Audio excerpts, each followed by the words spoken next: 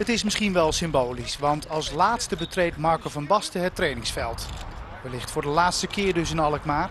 Van Basten oogt ontspannen. De assistent-trainer verhuilt AZ voor Oranje.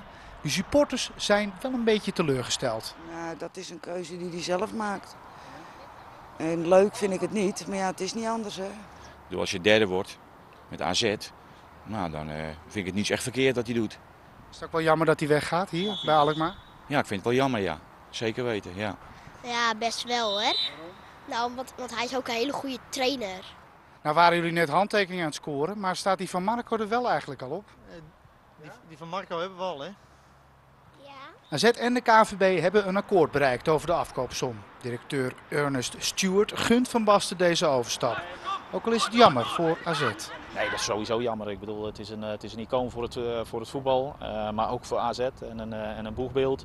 Dus dat is aan de ene kant natuurlijk heel jammer en dat, dat, dat laat wat achter. Aan de andere kant moet je altijd kijken wat, wat men heeft gedaan en, en dat is heel mooi geweest in het afgelopen jaar. Nu moeten alleen de KVB en Van Basten er nog uit zien te komen.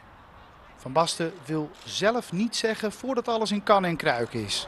Ja, we hebben van de week hebben we nog een, eh, een afspraak met eh, de KNVB. En daar, worden, daar wordt eh, gesproken over eh, eventueel eh, mijn komst naar de KNVB. Maar dat moet nog allemaal afgewacht worden.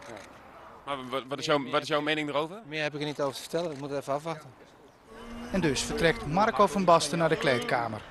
Wellicht voor de laatste keer hier in Alkmaar.